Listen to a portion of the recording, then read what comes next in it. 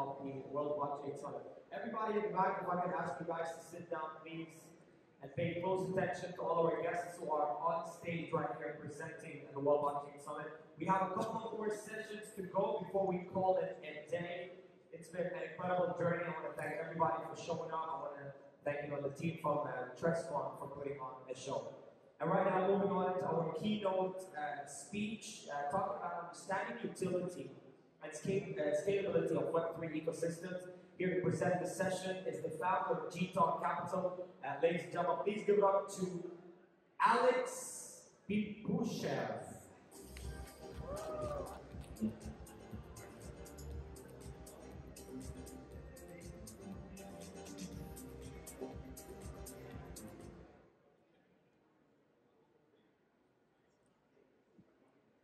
Hello everyone, can you hear me?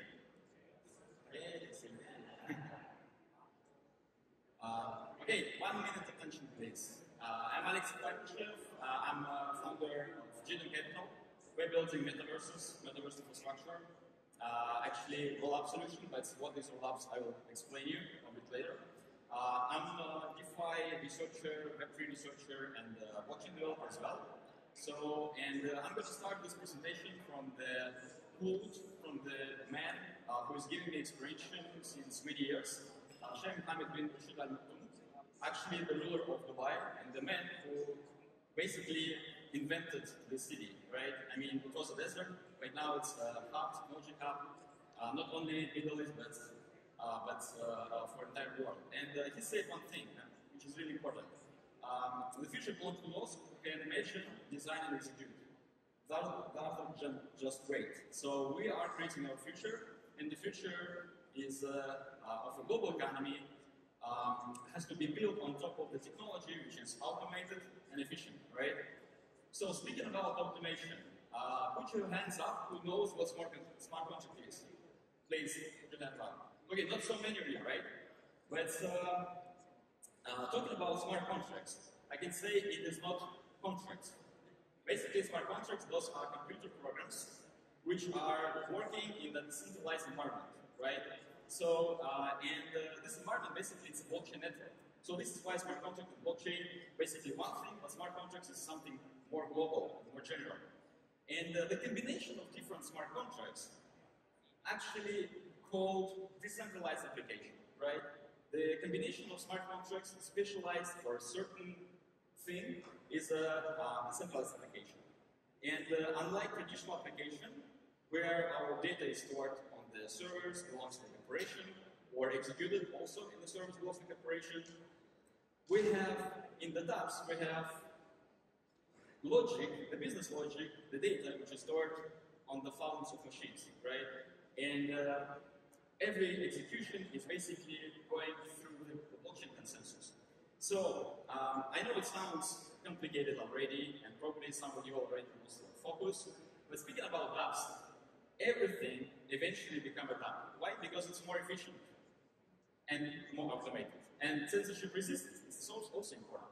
So speaking about censorship resistance, speaking about exclusiveness or inclusiveness, uh, decentralized applications, they are by default global and borderless, right? Our population is growing, and uh, I think in a few years there will be 10 billion people, and uh, this is a global economy. This is a new economy. The technology which handles this must be scalable, convenient, and secure.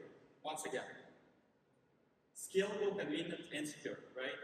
So, uh, right now we have Ethereum. Uh, I'm absolutely sure you heard about Ethereum. Most of you already use it. But the problem is Ethereum is secure, but not convenient and not scalable, right? It has some issues.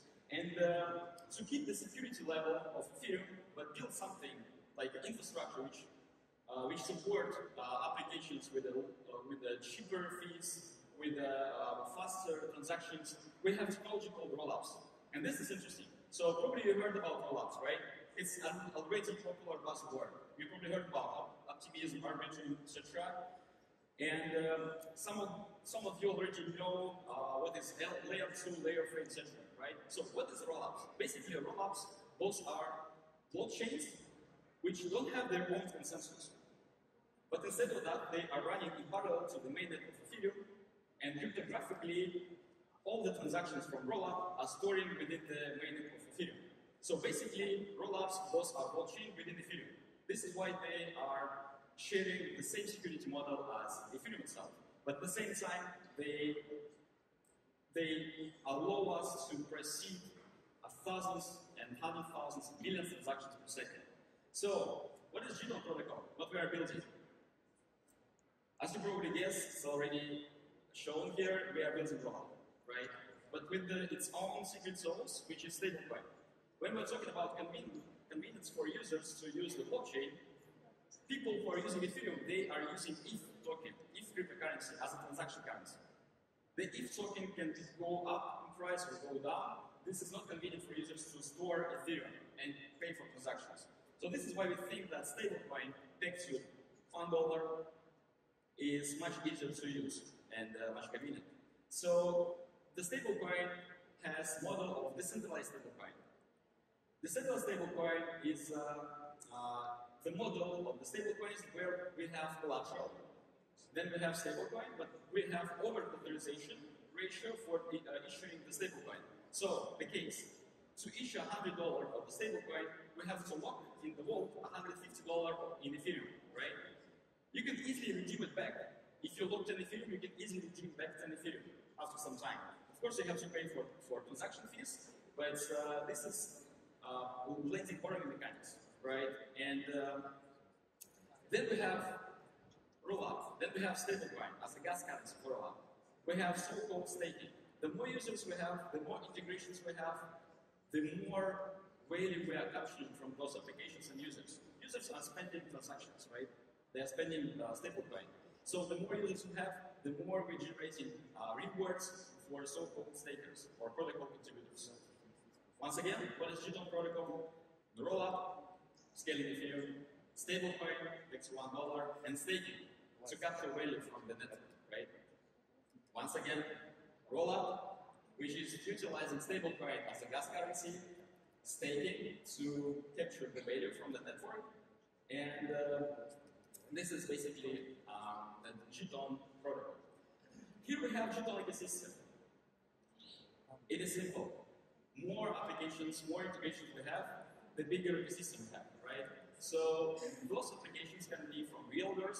Sorry, I just invented this term. I have no idea if it existing or not. But by realtors, we can imagine the applications which are connected to the real world.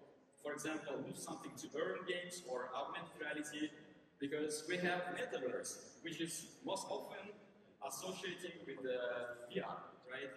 So the future is here, and uh, we are making it um, digital, we're making it uh, programmable, automated, and efficient, and we are digital What we're looking for here, we are looking for projects who are going to explore uh, their pilots on the on the Web3 uh, platform.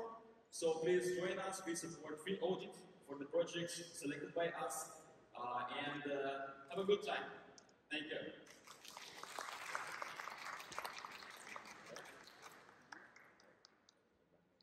Thank you very much, Alex.